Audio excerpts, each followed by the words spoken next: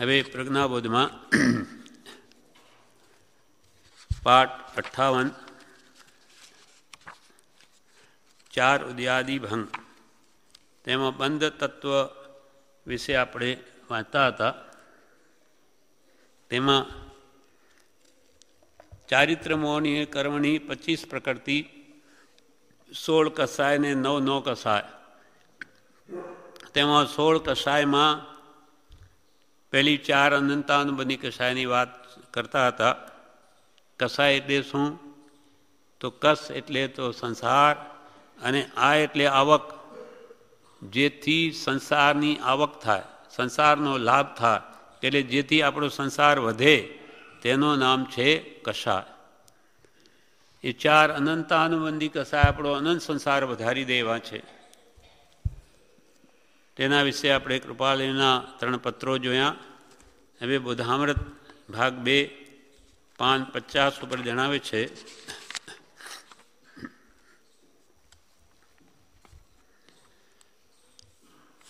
પત્રાંક બસો અગિયારના વિવેચનમાં કહ્યું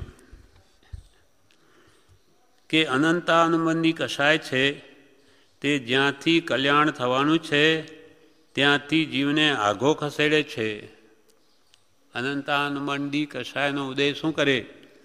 તો કે જ્યાંથી આપણું કલ્યાણ થવાનું હોય ત્યાંથી એને દૂર ધકેલે, આઘો ખસેડે. અને મિથ્યાત્વ છે તે અવળી સમજણ કરાવે છે. મિથ્યાત્વ મૌનીય કર્મનો જે ઉદય છે આપણને, એ શું કરાવે? અવળી માન્યતા કરાવે. એટલે દેહમાં આત્મબુદ્ધિ કરાવે. સંસારમાં સુખબુદ્ધિ કરાવે કુટુંબા ધનાદિમાં મહારાપણું કરાવે, આ બધી વિપરીત માનતા કરે. જે પોતાનું ખરેખર નથી, એવો અહમ મમત્વ ભાવ છે તે કરાવ્યા. આપણને એમ જ આનંદ આવે. સારું લાગે. પોતાનો દેહ માનવામાં અથવા ઘર કુટુંબાજને પોતાના માનવામાં એને આનંદ આવે. મારાપણું કરવામાં એને રસ છે. એમ આ બધું મિથ્યાત્વ મોહનીય કર્મનું બળ છે. એટલે ચારિત્રમાં અનંતાનમની કસાય છે, તે જ્યાંથી કલ્યાણ થવાનું હોય ત્યાંથી જીવને આગો ખસેડે છે અને મિથ્યાત્વ છે. અનંતાનમની કસાય ચારિત્રમાં છે, મિથ્યાત્વ દર્શનમાં છે. અને મિથ્યાત્વ છે તે અવળી સમજણ કરાવે છે. એ અંદર હોય, એટલે મિથ્યાત્વ શું કરાવે? આપણા અંદર છે. પછી એ અંદર હોઈને જ્ઞાની પાસે જાય તે જ્ઞાની પુરુષ એના દોષ બતાવે, ત્યારે કહે કે એ તો મારા દોષ દેખે છે. નાની પાસે જાય અને આપણા કંઈ દોષ હોય તો જાણે, કાઢે તો એનો લાભ થાય, ભલું થાય, એ બતાવે. ત્યારે મિથ્યાત શું કરાવે?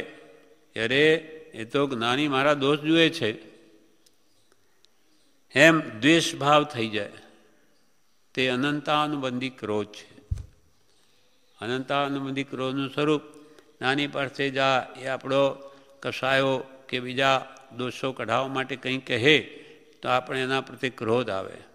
યા તો આપણા દોષ જુએ છે. તો તે અનંતાનુબંધી ભાંગામાં છે. તો એ અંતાનુબંધી ક્રોધ છે, નાની જાણે છે. હવે અંતાનુબંધી માન શું? નાની પુરુષ જાણે છે અને હું કંઈ નથી જાણતો, તેને બદલે હું જાણું છું, એમ રહે તે અનંતાનુબંધી માન છે. નાની જાણે હું કંઈ નથી જાણતો પણ હું જાણું છું. એવો જે એને મનમાં રહે, તે અનંતાનુબંધી માન, અનંત સંસાર વધારી શકે એવું. પછી માયા શું? નાની પુરુષ પાસે જાય, ત્યારે ઉપર ઉપરથી સારું દેખાડે અને મનમાં તો એમ રાખે કે જ્ઞાનીને છેતરી, મારું કામ કરી જતો રહું. એ અનંતાનુબંધી માયા છે. નાની પુરુષ આપણે આપણો કામ કરી લેવું. આપણે શું, જે છે તે એમની પાસે. એમ કરીને પોતાનું કામ કઢાવવા માટે ત્યાં જાય, તે અનંતાનુબંધી માયા. અને અનંતાનુબંધી લોભ શું? લોકો પાસે વખાણ કરાવે, નાની પાસેથી સંસારની વસ્તુઓ ઈચ્છે, તે અનંતાનુબંધી લોભ છે. પહેલો તો નાની પુરુષ આપણા દોષ બતાવે, ત્યારે એ તો મારા દોષ જુએ છે. એવો દ્વેષભાવ જો જ્ઞાની પ્રત્યે થાય તો એ અનંતાનુમનિક રોજ છે. જેમ કે કુલ બાલક મુનિ હતો, ગુરુ એની દ્રષ્ટિ મલિન હતી. સ્ત્રીઓ તરફ હંમેશા એ કર્યા કરે, એટલે ગુરુ વારંવાર ચેતાવે, તું આમ નહીં કર. તો એને ગુરુ પ્રત્યે દ્વેષ વધી આવે કે આ ગુરુ જ મને ના પાડે છે, વારે ઘડી પણ પોતાનો દોષ જોતો નથી. એટલે એક દિવસે એને એવો ક્રોધ ચડ્યો કે આ ગુરુ જ મને આડા આવે છે. મારે બધું જે કરવું છે, એટલે એક તીર્થસ્થાનમાં કંઈ ઉપર ગયા, પહાડ ઉપરથી ગુરુ નીચે ઉતરે છે, એને પાછળથી એક પથ્થર ગબડાયો, ગબડાવ્યો કે જેથી ગુરુ મરી જાય. પણ ગુરુ તો જ્ઞાની છે. પાછળથી એણે એવું કર્યું એટલે પોતે ખસી ગયા.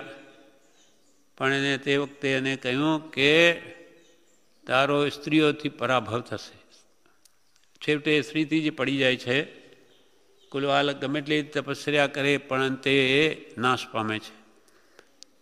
એવી રીતે માન કશાય પણ કે જ્ઞાની કરતાં હું વિશેષ જાણું છું. એવો ભાવ જ્યાં રહે, ત્યારે નાની એને શું કહે? કંઈ નહીં કહે. તો જાણે કે હું જાણું છું, સમજું છું, તો એ અનંતાન બધી માનના ભાંગામાં આવે. અને માનાદિ શત્રુ મહા નિચ્છંદે ન મરાય. જાતા સદગુરુ શરણમાં અલ્પ પ્રયાસે જાય. અને અનંતાનંદની માયા શું? તો કે ગુરુ પાસેથી મારું કામ કાઢી લઉં ને એમને છેતરી અને જતો રહું. એ અનંતાનંદની માયા. એના માટે દ્રષ્ટાંત છે, ચંડ પ્રદ્યોત રાજા રાજકારણીના કારણે એમ કહ્યું કે, ઉદયન, રાજાને કોઈ મારી આવે તો તેને આ પ્રમાણે ઇનામ આપું. અરે એક જણ કે, હું કરી આપું, હું કરી આપું. ઉદયન રાજા એ પછી શું સાધુનો વેશ લે છે? એને થયું કે, આ ઉદયન રાજા બહુ ધાર્મિક છે. બીજી કોઈ રીતે છેતરાય એવો નથી. એટલે મુનિ બની બાર બાર વર્ષ સુધી ગુરુ પાસે રહે છે. ગુરુનો એટલો વિનય કરે છે કે જાણે કે ઓહો, આ તો વિનય રત્ન છે. નામ જ વિનય રત્ન પાડી દીધું. બહુ વિનયવાન. એમ ધીમે ધીમે કરતાં ઉદયન મંત્રી, ઉદયન રાજાના ત્યાં આવે છે. પછી એકવાર ઉદયન રાજાએ એમ કહ્યું ગુરુને કે આજે રાત્રે એમની પાસે પોષશાળા હોય, રાજ મહેલની પાસે. તો કે આજે ગુરુ મહારાજ પધારો ચૌદશ છે તો રાત્રે પૂરો સ્વાધ્યાય કરીએ. એટલે પોતે પણ આમ જાણે એક દિવસનો પોસો લઈ ધ્યાનમાં સમય કાઢે કે પછી આરામ કરે થાકે તે. હવે ત્યાં ગુરુ થયા તો આ વિનય રત્ન શિષ્યને સાથે લીધો. કે જાણે આ તો કેટલો વિનયમાં. પણ એને તો આ ઉદયન રાજાને મારવા હતા. એટલે કેમ કે એ પ્રમાણે જ આ દીક્ષા લીધેલી. એટલે એની જે લાકડી હોય એમાં ગુપ્તી રાખે, છરી રાખે. તે દિવસે એને થયું કે હવે બરોબર લાગ આવ્યો છે. રાત્રે બધી ધર્મક્રિયા કરીને બધા સૂઈ ગયા કે છરી એ ઉઠી શિષ્ય વિનયરત્ન અને રાજાના ગળામાં ચલાવી દીધી. રાજુ ગળું કાપી નાખ્યું. લોહીની ધાર વહી. એ લોહીની ધારા જતી હતી ગુરુ પાસે ગઈ. રાત્રે થયું કે આ બધું શું? જો છે, ખબર પડી કે અરે આ તો આ શિષ્ય દેખાયો નહીં. અરે કે આ જ મારીને ગયો છે. હવે ગુરુને થયું કે સવારે શું હાલત થશે જૈન દર્શનની ભયંકર નિંદા થશે કે આ શિષ્ય ગુરુનો કેવો? તો આ ગુરુએ કેવા હશે? આવા કામ કરે, રાજાને મારી નાખ્યો. એટલે આચાર્યની સાધુઓની કે ધર્મની પણ નિંદા થશે. એમ વિચારીને એ જ છરી લઈ અને ગુરુએ પોતાના ગળા પર પણ ચલાવી. ગુરુએ પણ પોતાનું ગળું કાપી નાખ્યું. તો એમને થયું કે સવારમાં જોશે કોઈ એવો દુષ્ટ માણસ આવી અને બેને મારી ગયો છે. એમ કરીને આ રીતે પોતે પણ શાસનની શોભા રાખવા માટે આવું કર્યું. આ શું? બાર વર્ષ સુધી દીક્ષા પાડી છે. પણ લક્ષ શું છે? ગુરુને છેતરીને મારું કામ કાઢું. એ અનંતાન મંડી માયા છે. નાની પુરુષ પાસે જાય, ત્યાં ઉપર ઉપરથી સારું દેખાડે અને મનમાં તો એમ રાખે, એ જ્ઞાનીને છેતરી, મારું કામ કરી જતો રહું. તે અનંતાનુબંધી માયા છે. અને અનંત, અનંતાનુબંધી લોભ, અનંત સંસાર વધારે એવો લોભ કયો? તો કે લોકો પાસે વખાણ કરાવે નાની પાસેથી સંસારની વસ્તુઓ ઈચ્છે તે અનંતાનંદી લોભ છે. નાની પુરુષ પાસે સંસારની વસ્તુ ઈચ્છે. આજે મોટો ભાગે જે કંઈ પણ લૌકિકમાં આપણે સંપ્રદાયમાં જોઈએ છે, ભગવાન પાસે જઈને કે દેવી દેવતાઓ પાસે જઈને માત્ર સંસાર જ માગે છે. દુઃખ કોને નહીં હોય? ગ્રસ્તને જ દુઃખ હોય? અને અનેક પ્રકારના દુઃખ એટલે ભગવાન પાસે જઈને મારો આ દુઃખ નિવારો. આખી કે જે ટ્રેન આવે છે મુંબઈથી સંકેતર પાર્થનાથ પૂર્ણિમાના દિવસે, આ બધી કામના બુદ્ધિ, તે અનંતાનુબંધી લોભ છે. અનંત સંસાર વધારે આ લોકોત્તર મિથ્યાત્વ છે. નાની પાસેથી પહેલાં તો લોકો પાસે વખાણ કરાવે પોતાના એ પણ અનંતાનુબંધી લો. બધા મને સારું કહે, મોટો કહે, ડાયો કહે. લોકો પાસે પોતાના વખાણ કરાવે, નાની પાસેથી સંસારની વસ્તુઓ ઈચ્છે, સંસાર ઈચ્છે, સંસારની વસ્તુઓ ઈચ્છે. તે અનંતાબંધની બંદી લોભ છે. જીવ ખરી રીતે જાણતો નથી અને હું જાણું છું. એમ જીવને રહ્યા કરે છે, મોક્ષ એને સમજાયો નથી. નાની નથી જાણતા, હું જાણું છું. તો એને ખરેખર સમજાયું નથી. મોક્ષ એને સમજાયો નથી. સમજાય તો મોક્ષ માટે પુરુષાર્થ કરે. જીવને રૂપી પદાર્થનું મહાત્મ્ય છે. મોહને લઈને જીવ તેમાં જ ખડી રહે છે. આ પ્રમાણે આ અનંત નાનુબંધી કષાય એને અનંત સંસાર વૃદ્ધિનું કારણ થાય છે. વળી ગોદામૃત ભાગ એકમાં પાન બત્રીસ ઉપર અનંતાનુબંધી સંબંધી કે છે.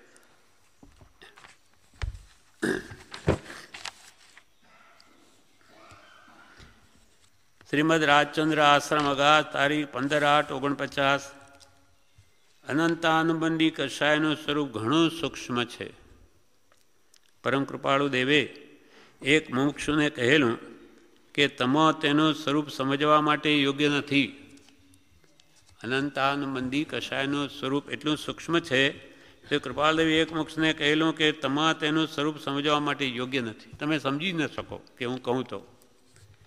મુખ્યપણે તો અનંતાનુબંધી ક્યાં સંભવે? મુખ્યપણે તો જ્ઞાની પુરુષ તથા તેના આશ્રિતનો ધ્રોહ થાય. તે અનંતાનુબંધી કશાય કહેવાય. નાની પુરુષની આસાધના કે જ્ઞાની પુરુષના આશ્રિતની આસાધના? ખરેખર મુમુક્ષોની આસાધના એ પણ મહાન છે, મહાન દોષ છે. કેમ કે જ્ઞાનીને જ્ઞાનીના આશ્રિત બે મોક્ષ માર્ગમાં છે. હવે આજે તો જ્ઞાની પુરુષ તો દુર્લભ થઈ પડ્યા, પણ કંઈક અંશે જ્ઞાનીના આશ્રિત જીવો એનું શરણ સ્વીકારીને જીવનારા હજુ કંઈ મળે છે.